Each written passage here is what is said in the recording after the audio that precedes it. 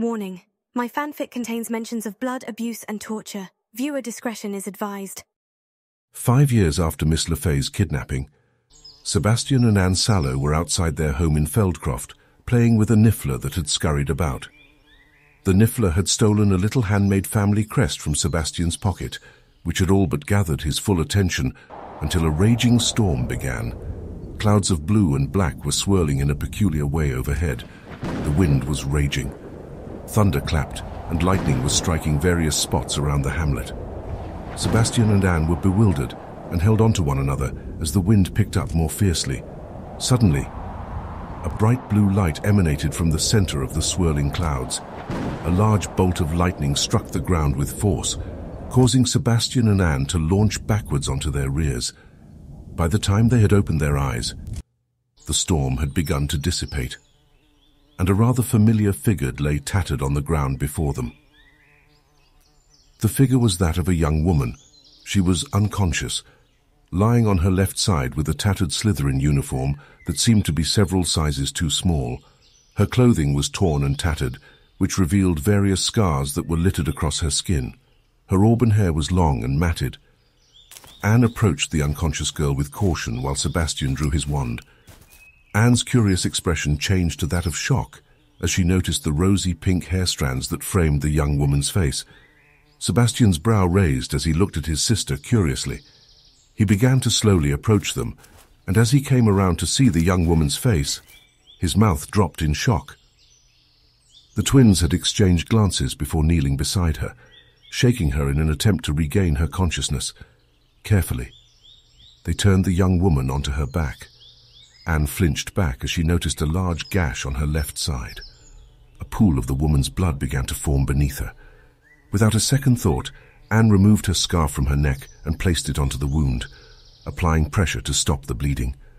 She then turned her attention to Sebastian. Sebastian, quickly! I need a Wiggenweld potion. They should be with my potions kit. Sebastian hadn't realized he was in some sort of trance. He had been staring at the young woman with shock and confusion littered across his face. Now, Sebastian! Anne's frantic tone had snapped him out of his trance as he scrambled to his feet and took off in a sprint back to their home. He burst through the front door and shuffled frantically through Anne's kit. He managed to find a Wiggenweld potion and held it firmly in his grasp as he sprinted back out the door. Sebastian slid against the wet, muddy earth as he handed the potion off to his sister. Anne quickly uncorked the potion and delicately poured its contents into the girl's mouth. The twins watched carefully as they waited eagerly to see if the potion's effects were working. However, the wound continued to bleed. Sebastian acted quickly and cradled the young woman into his arms as both he and Anne rushed back to their home. He delicately placed the unconscious girl into his bed as Anne rushed over with a muggle first aid kit. She frantically ripped gauze out of the kit and began wrapping the young woman's waist. After she was bandaged, Anne and Sebastian paced around the cottage with their gazes locked onto the unconscious woman. Well, what do we do now? We just have to hope she wakes soon. Over an hour had gone by before the young woman finally awakened from her slumber.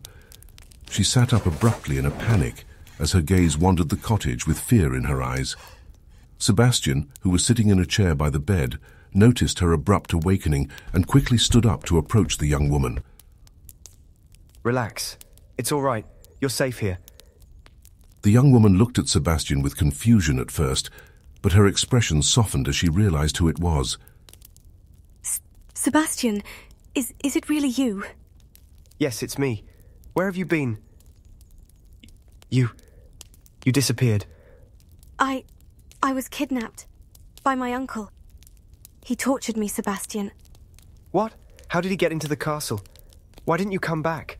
I. If you were trapped, how did you wind up here? I.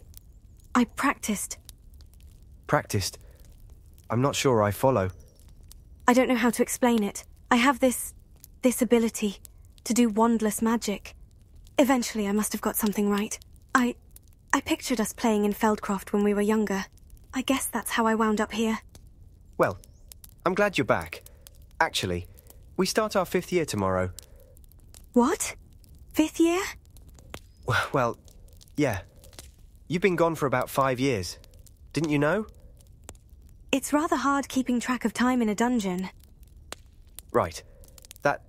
Well. Are you coming with us to Hogwarts? I should, but I don't have any supplies.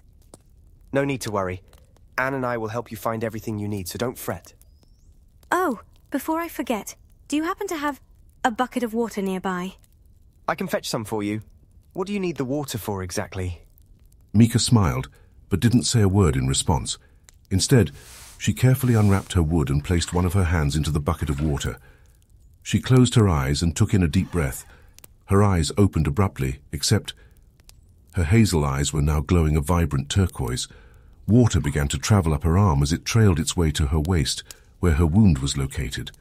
The bubble of water that formed around her wound began to glow the same turquoise. Her wound began to close rapidly.